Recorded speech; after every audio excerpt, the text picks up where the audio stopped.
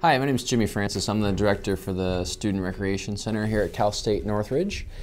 And I'm essentially responsible for the operation of the Student Recreation Center and all the programs and services that we offer here. So the Student Recreation Center is actually pretty architecturally significant. You know, there's not a lot of right angles, there's a lot of, you know, just really, you know, kind of pleasing to the eye design features.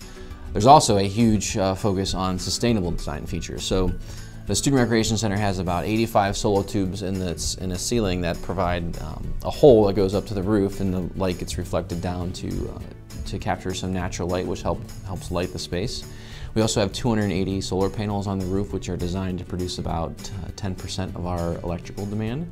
We found that uh, in, in, a, in, one year time span, those, those solar panels saved us about $16,000 in electrical costs. The Student Recreation Center offers uh, to, the, to our members is really a comprehensive, diverse recreation program. So hopefully what we have here is a little bit for everyone. The most popular thing is probably what we just tend to call open recreation. So that's just the students or our members coming in off the street and they just check out a basketball, they shoot some hoops, or they can get a volleyball, play some volleyball, or they run on a treadmill, run on the track. It's basically just casual use for the students coming in and uh, you know participating in what they want to when they want to. We also offer a lot of programming in the fitness and wellness area in uh, group exercise. So we have Zumba classes, which is more Latin-based dance. We have um, cycling classes. So a lot of people would ask, like, what's next for the Student Recreation Center? So what we've done is we took uh, a look at some of the data that we that's collected from the students here at CSUN, and we found that they're struggling most with their sleep deprivation and their stress.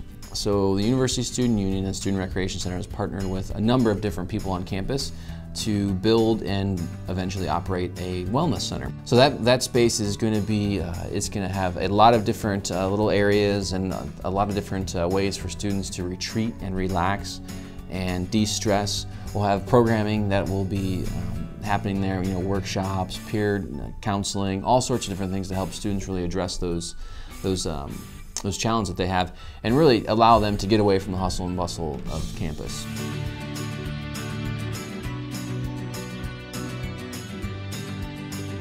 Come check us out because we offer so much that I would challenge you to find something that would not interest you. And um, if, if you find that uh, you don't find anything, come talk to me and we'll work something out.